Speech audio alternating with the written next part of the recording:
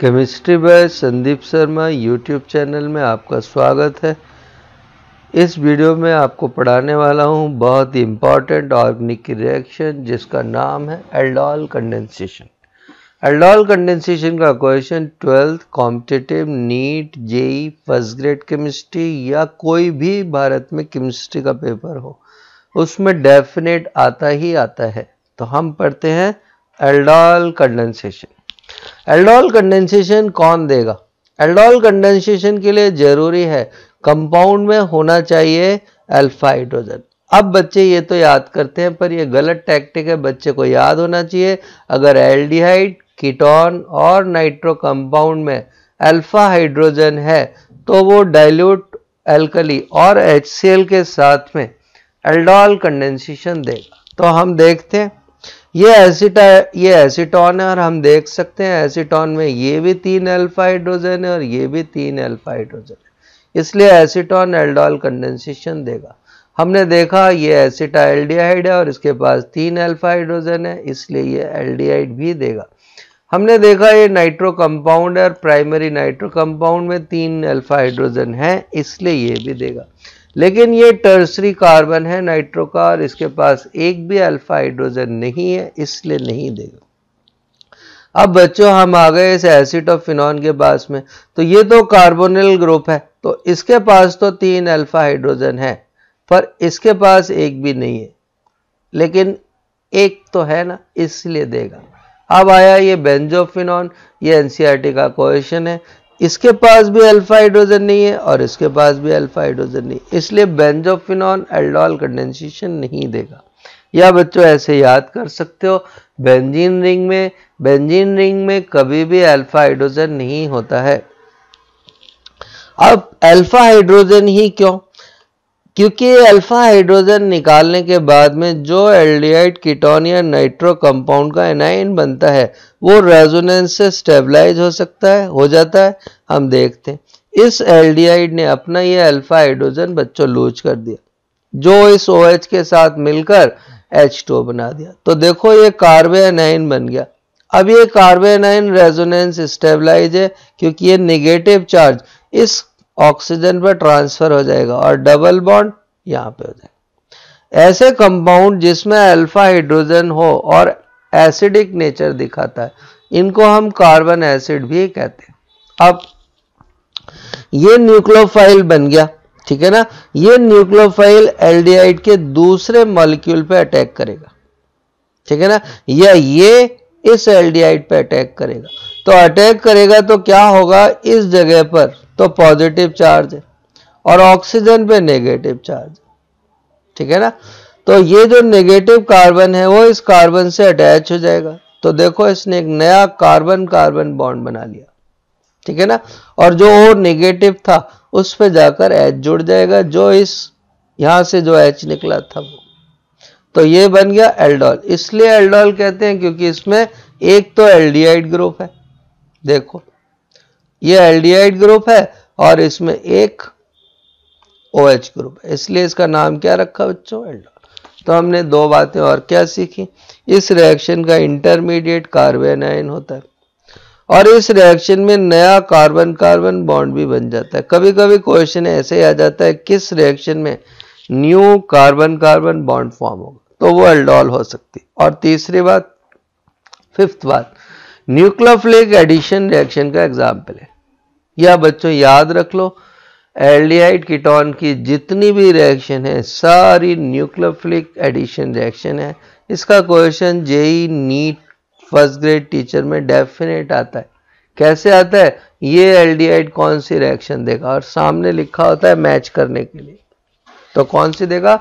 Nucleophilic addition reaction. हम चलते हैं नेक्स्ट एग्ज़ाम अब मैं, अब बच्चों को आती है प्रोडक्ट बनाने में प्रॉब्लम ठीक है ना?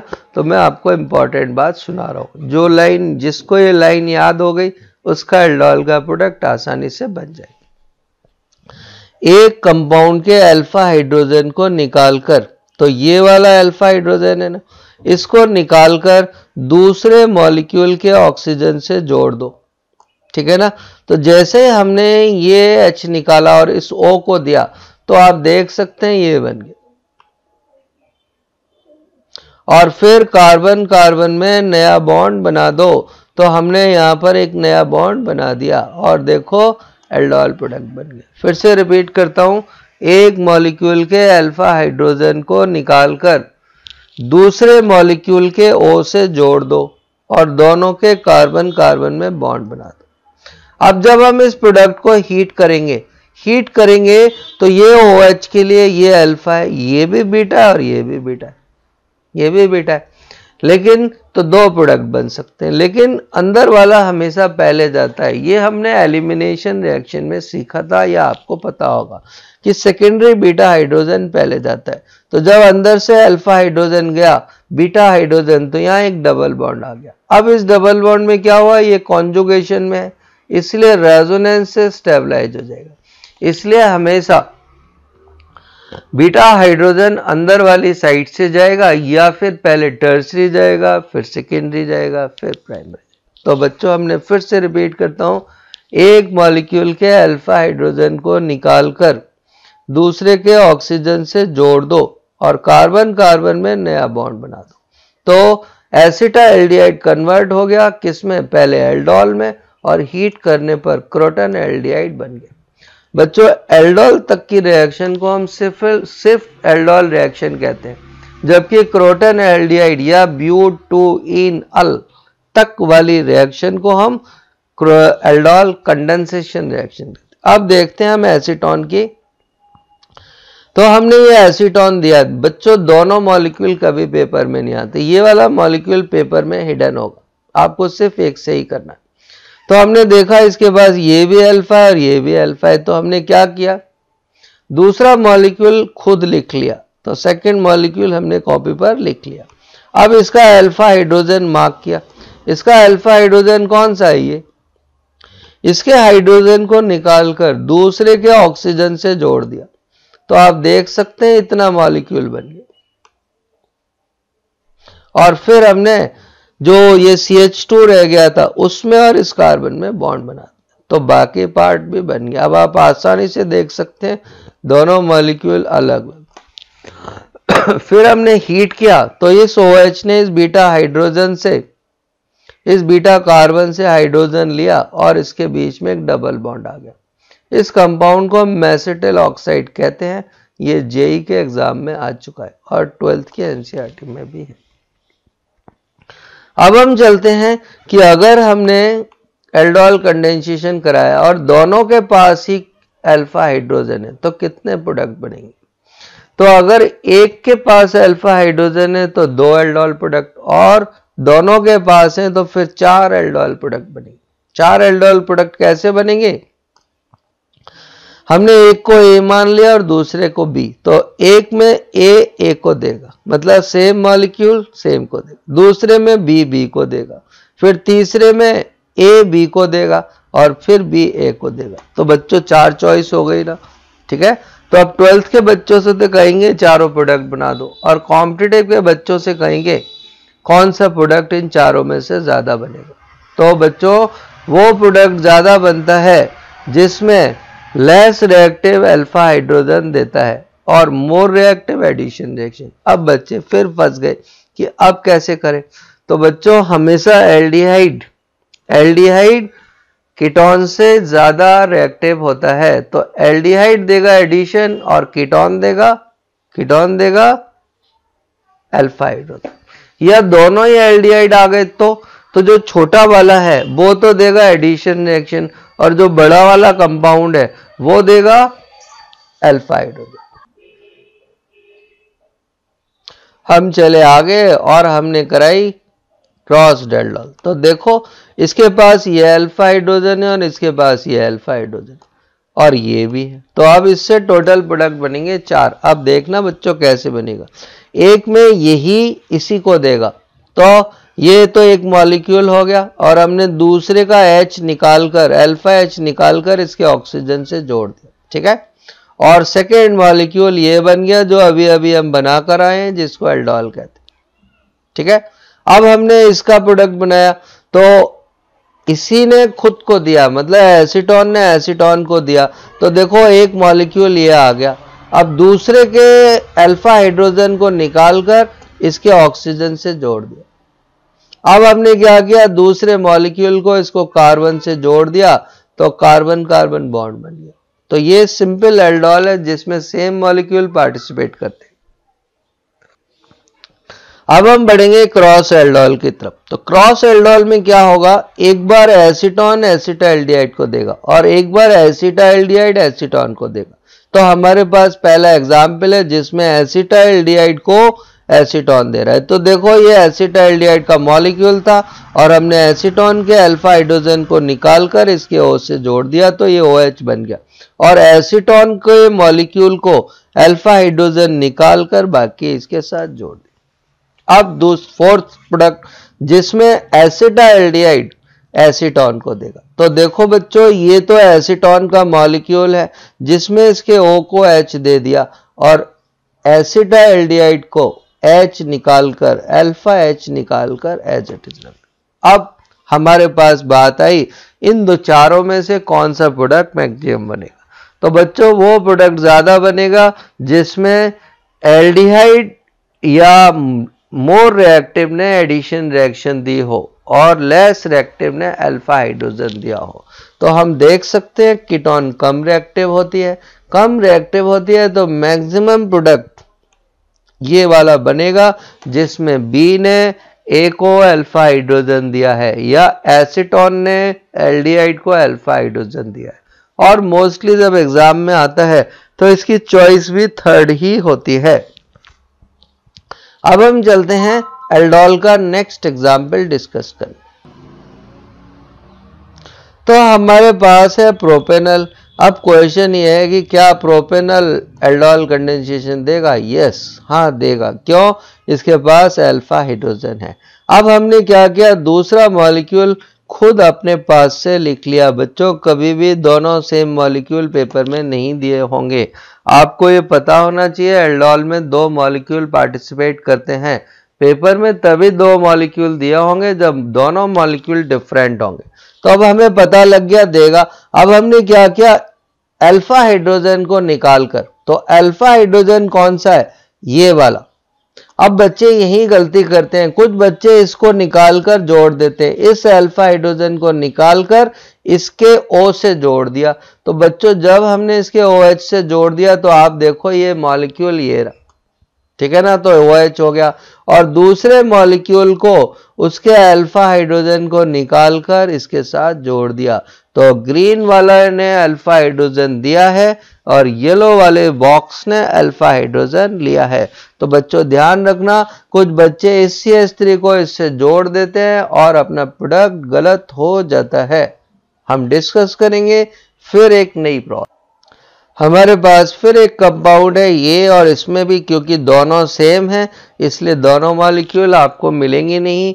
ये सारे ही कॉम्पिटिटिव एग्जामों में आ चुकी है। क्या ये एल्डोल देगा? यस क्योंकि इसमें कार्बोनिल या एल्डिहाइड कीटोन है और इसके पास ये अल्फ़ा भी है और ये अल्फ़ा भी। अब हमने दूसरा मॉलिक्यूल खुद लिख लिया, ठीक है?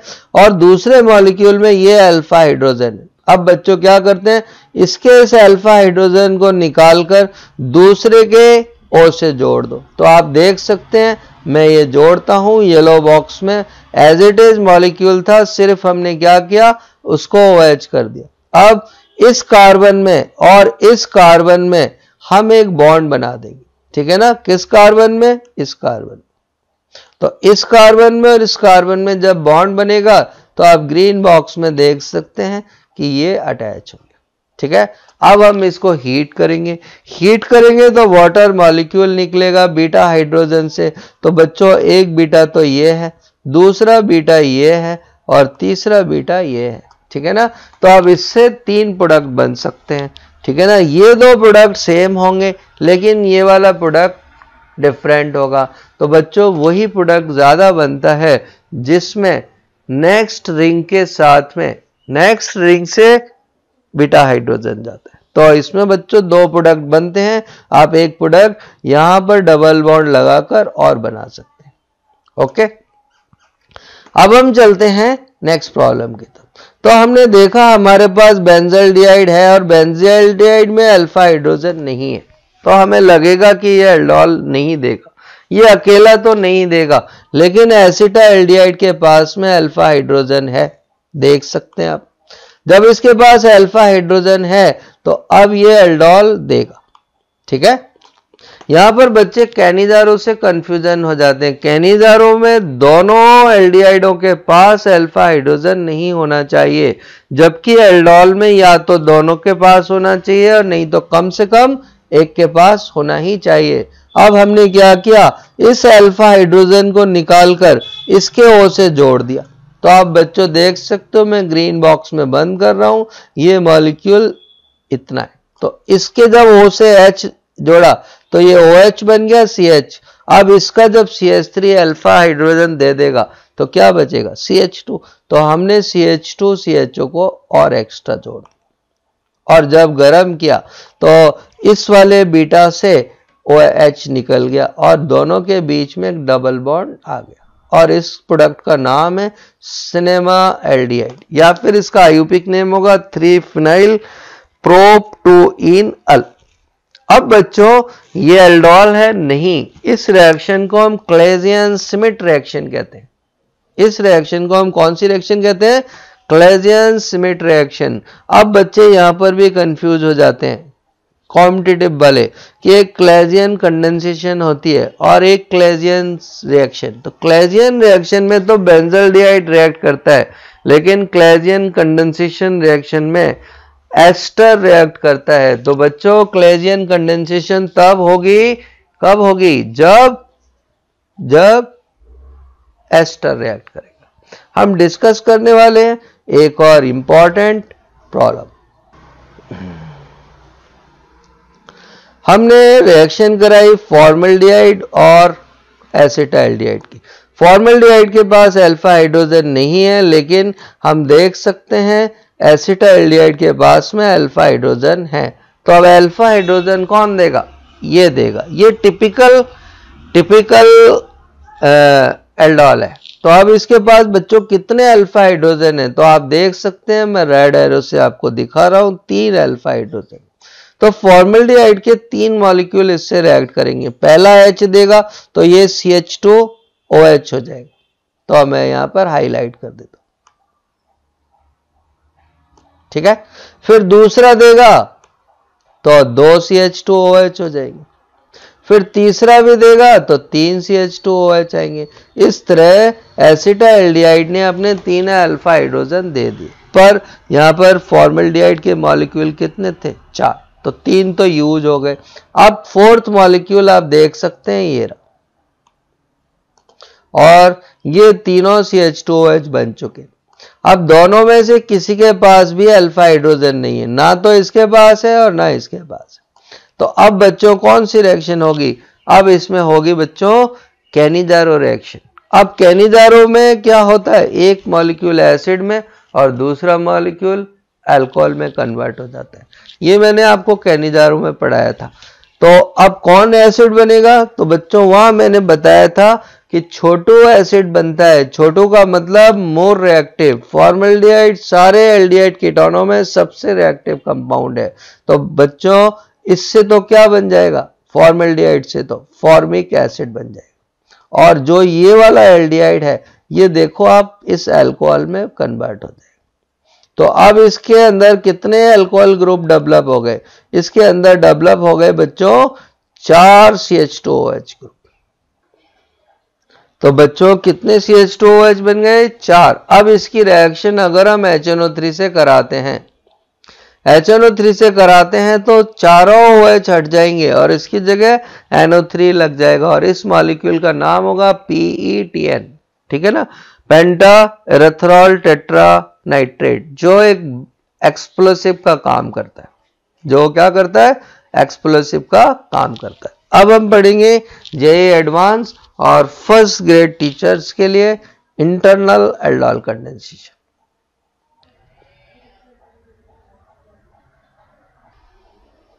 तो internal internal aldol condensation reaction कब होती है? जब बच्चों एक ही कंपाउंड में दो एल्डिहाइड या दो कार्बोनिल ग्रुप प्रेजेंट हो, क्योंकि इसमें दोनों ही ग्रुप प्रेजेंट हैं, इसलिए सिंगल मॉलिक्यूल ही एल्डोल कंडेंसेशन देगा। अब दूसरी इंपॉर्टेंट बात जो कॉम्पिटेटिव के काम आती है, अगर कार्बोनिल ग्रुप सेवन पे लगा हुआ है, दूसरा कार्बोनिल ग्रुप का नंबर सेवन, एट, नाइन है तो फिर अंदर वाला अल्फ़ा हाइड्रोजन जाएगा तो बच्चों कौन सा जाएगा? ये वाला अल्फ़ा हाइड्रोजन जाएगा। और अगर कार्बोनिल ग्रुप फोर फाइव पर हो फोर फाइव पर हो तो फिर बाहर वाला जाएगा। अगर ये कार्बोनिल ग्रुप फोर पे होता तो फिर ये वाला अल्फ़ा हाइड्रोजन जाता। अब हम देखते हैं आगे की कहानी। क्योंकि ये सेवन है, इसलिए अंदर वाला जाएगा।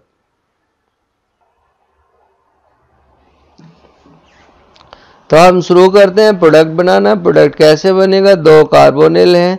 ये वाला अल्फ़ा हाइड्रोजन जाएगा। अब ये जाएगा और दूसरे के ओ से जुड़ जाएगा। और ये क्या है बच्चों? सी एस थ्री तो देखो, मैंने इसको इसको सी एस थ्री मार्क कर दिया। ये फ़र्स्ट अब सेकेंड वाला ओ OH में कन्वर्ट हो गया। ठीक है?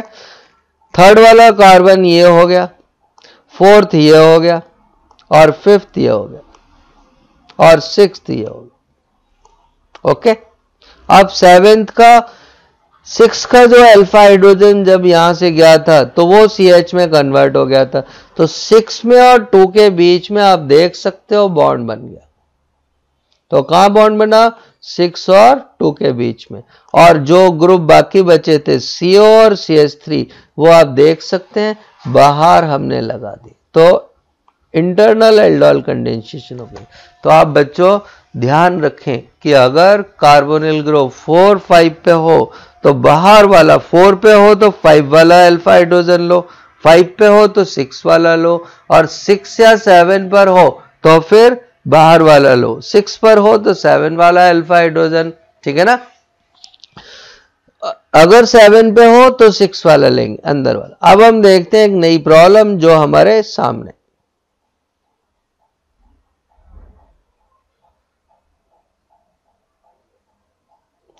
तो हमने देखा इसके पास ये कार्बोनिल ग्रुप है, ठीक है? यहाँ पर अल्फ़ा हाइड्रोजन है नहीं, लेकिन यहाँ पर एक अल्फ़ा हाइड्रोजन आपको देख रहा होगा, जिसको मैं ग्रीन से मार्क करता हूँ। तो ये एल्डोल दे सकता है। ये फॉर्मल्डिहाइड का मॉलिक्यूल है, जिसके पास कोई अल्फ़ा हाइड्रोजन नहीं है, इसलिए ये अल्फ़ा हाइड्रोजन नहीं देगा, लेकिन वो इसको दे सकता है। तो जब इसने अपना अल्फ़ा हाइड्रोजन दिया तो इसका ओ तो बच्चों किसमें कन्वर्ट हो गया? ओ OH में। अब इसके कार्बन पे कैसा चार्ज आ जाएगा? नेगेटिव और वो नेगेटिव चार्ज वाला कार्बन इस कार्बन से जाकर अटैच हो जाएगा। तो आप देख सकते हैं, इस सी एच टू ने कहा बॉन्ड बनाया? इससे। और हमें एल्डोल नहीं किटॉल प्रोडक्ट बन गया। किटॉल इसलिए कहेंगे किटॉल इसलिए कहेंगे क्योंकि इसमें एक कीटोन और एक एल्कोहल टाइम है तो मैं एक मिनट में क्लेजिन कंडेंसेशन डिस्कस कर देता हूँ। क्लेजियन कंडेंसेशन और क्लेजियन रिएक्शन अलग अलग होती हैं। क्लेजियन कंडेंसेशन में एस्टर रिएक्ट करता है, जब तक जबकि क्लेजियन सिमेट या क्लेजियन रिएक्शन में एसिटाइलडिहाइड और बेंजल्डिहाइड रिएक्ट करता है। क्लेजियन कंडेंसेशन सिर्फ़ वही कंपाउंड दे सकते हैं, वही एस्टर जिनके पास अल्फ़ा हाइड्रोजन हो। ये एस्टर क्लेजियन कंडेंसेशन नहीं देगा क्योंकि यहाँ पर कोई भी अल्फ़ा हाइड्रोजन नहीं है। और ये कई बार कॉम्पिटेटिव एग्जामों में पूछा जा चुका है। अब हमने देखा क्या ये एस्टर, क्या ये एस्टर क्लेजियन कंडेंसेशन देगा? यस क्योंकि इसके पास अल्फ़ा हाइड्रोजन है। हमने इसी मॉलिक्यूल को रिपीट करके लिख लिया और उसका अल्फ़ा हाइड्रोजन देखो बच्चों, ये मैंने मार्क कर दिया। रेड से। और हाईलाइट भी कर दिया। तो इसके पास अल्फ़ा हाइड्रोजन था और अल्फ़ा हाइड्रोजन अब ये हाइड्रोजन और ये O C two ethoxy group alcohol बनकर निकल जाएँगे तो आप देख सकते हैं निकल गया। अब क्या होगा? इस सीओ में और इस सी एच टू में बॉन्ड बन जाएगा। तो बॉन्ड कहाँ बना बच्चों? इस सीओ में और इस सी एच टू अब यहाँ एक इंपॉर्टेंट बात आ गई क्या? जब CH2 दो कार्बोनिल ग्रुप के बीच में सराउंडेड हो, बीच में रहता हो, तब इसको रिएक्टिव मिथाइलिन कंपाउंड कहते हैं और इसका नाम है एसिटो एसिटिक एस्टर ये फ़र्स्ट ग्रेड टीचर और जेई एडवांस के बच्चों के लिए बहुत ही इंपॉर्टेंट हो सकता है, क्योंकि उनके एग्ज़ाम में आ सकता है।